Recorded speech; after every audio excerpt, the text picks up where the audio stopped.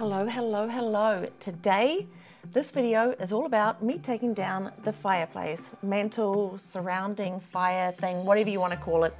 This is a quick video of me taking it down. Now bear in mind, the sledgehammer is heavy. These rocks or marble or granite, whatever they happen to be, they are very heavy too. So when I lift them and carry them and place them down, it's a it's kind of like going to the gym and lifting some weights. It was a, it was a really really intense workout just getting this done. And also trying to stay out of the way when they fell so that they didn't hit me. Because last time I took down some brick off the side of a building it fell and hit me in the head. And yeah a long story. Anyhow I was being super careful because I didn't want to get in trouble with having it fall on me. So I hope you enjoyed this video. Stay tuned for when we uh, put in the new fireplace surrounding. Don't know what it's going to be yet but yeah, I'm super excited because this is going to be my office. Enjoy the video and I'll spot you guys later.